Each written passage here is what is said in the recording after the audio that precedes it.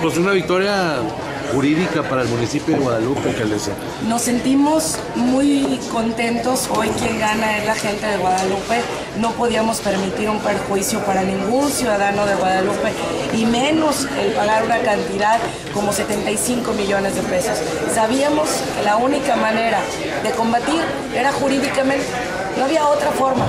Hicimos todos los eh, medios que pudimos haber emprendido de impugnación y lucha jurídica y al final analizamos perfectamente bien la sentencia para cumplir, pero con lo justo nada más, con lo que es, ni un peso más. Y por eso hoy que el Tribunal Estatal, atendiendo un análisis jurídico de todo lo que nosotros le presentamos, con un procedimiento avalado jurídicamente, con fundamento, nos da la razón y le da la razón a la justicia. Hoy nuestra gente de Guadalupe debe estar muy contenta por un proceso que viene peleándose de muchos años atrás, un proceso largo, muy complicado, donde los pronósticos eran totalmente eh, malos para nuestro municipio, donde hubo muchas voces de abogados, de representantes que decían que pagáramos los 75 millones de inmediato, paguen ya. Y nuestra convicción era no, señor, no vamos a pagar cuando a la gente le va a causar un gran perjuicio. ¿Por qué? Porque sabíamos que jurídicamente podíamos encontrar la razón y que legalmente lo podíamos pelear. No peleándonos con nadie, al contrario, con una lucha jurídica y así fue como hoy gana nuestra gente de Guadalupe y logramos que no le causemos ningún perjuicio. Pero lo más importante, carpetazo al tema de Ramiro Guerra. Totalmente concluida y cumplida esa sentencia y ese caso para nosotros queda ya como un libro cerrado. este triunfo jurídico, ¿en qué se traduce para la sociedad?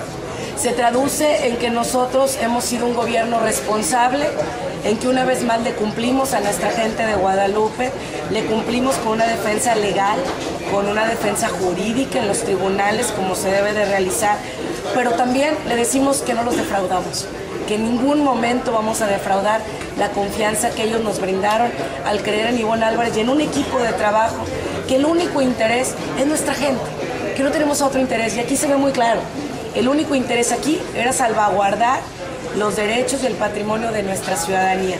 Lo logramos, pero lo logramos con hechos jurídicos y con herramientas jurídicas.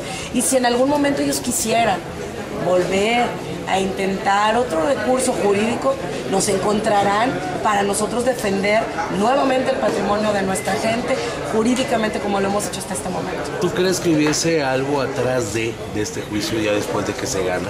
Se gana por parte del municipio. ¿Tú crees que hay más allá?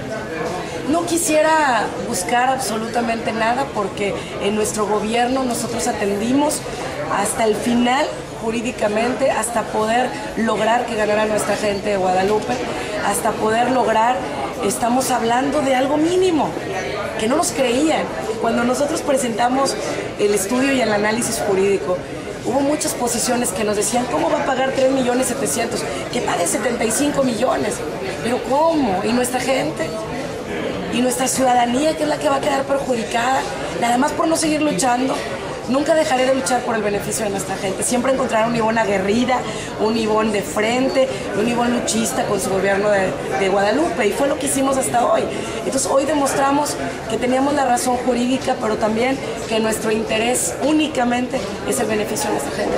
Al final nada más fueron el, el 5% de la cantidad. El 5% solamente, 75 millones que ellos pedían, y a lo mejor ahorita ya estuviéramos llegando a 80 millones, ¿verdad?